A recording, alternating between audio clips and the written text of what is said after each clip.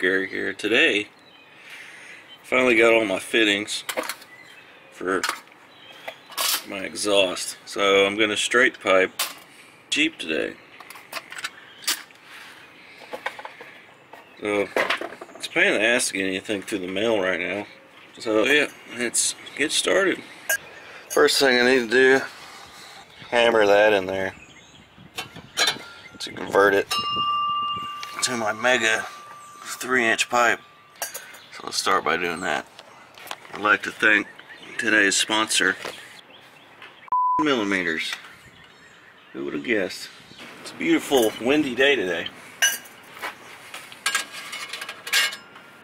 Oh, genius. Put this on after. This is not a tutorial, by the way. Hammer you home. Scabble.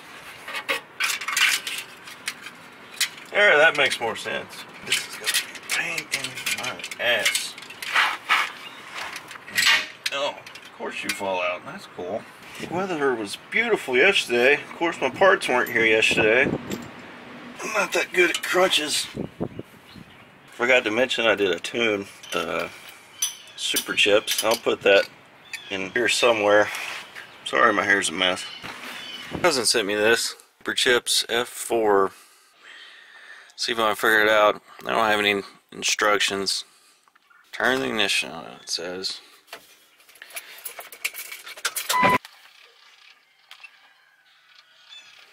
Initialization. I'm to go here to tune vehicle, quick tune.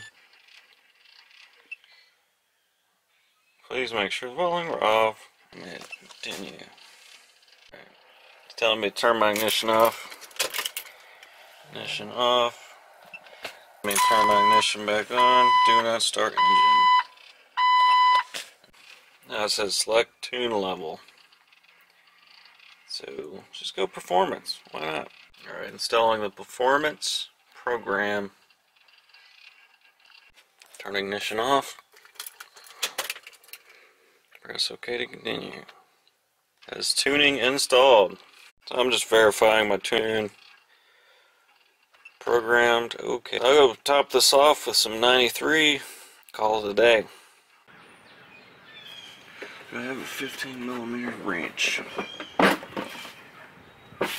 Probably not. Stupid metric system. I'm back. Okay. I had to go search for a 15 millimeter. I found it.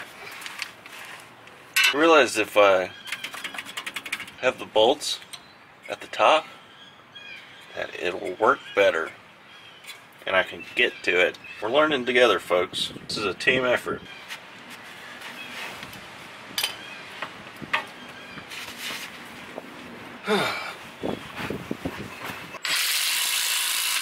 now for the big ass pipe.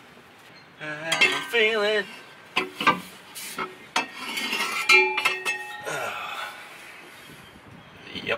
this is what I'm trying to do. I only want the pipe to uh, stop before the gas tank, not go all the way out. So I gotta cut it like an inch or two. Back, cut the pipe about a few inches off. It's gonna go this way. Yep. See, this is what I was talking about. See, the pipe terminates above the rear axle. Don't pay attention to my sloppy cut. No one's gonna see it. Just need to put this other clamp on and get the hanger put on this way. So I got a bunch of Flowmaster pipe left over. I had to order six pieces. I only needed this one piece. So anybody wants any Flowmaster pipe, send me an email. Check out what I fabricated, quote unquote. This little piece was the most pain in the ass to find. So this is the cat, catalytic converter. Find this piece that goes from the catalytic converter to the pipe. Took me forever. Reducer here from three inches down to two inches. It's not a leak-free system. because it is not welded at the seams, which means there's still a chance that exhaust fumes and carbon monoxide and all that scary stuff will come out. So, since you're supposed to weld each seam, I guess, and I'm not a welder, so if you ever go parking somewhere with your girlfriend or whatever, it's cold, you know, don't leave your car running because you'll both catch the forever sleep and So, what have we learned? Oh, come That's not a good thing. I'm gonna crank it up.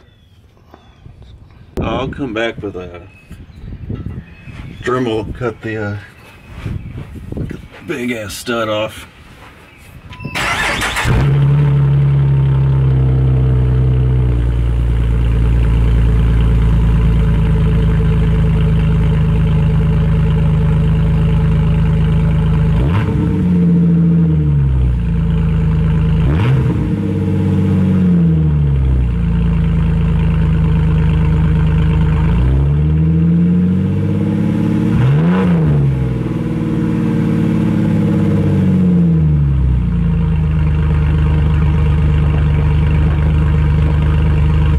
Got everything cleaned up beside myself.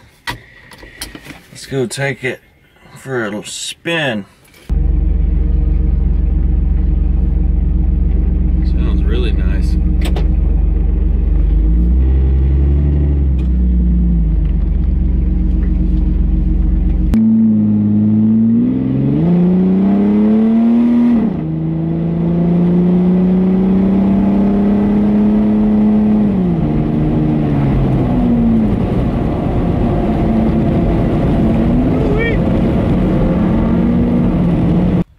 Successful mission.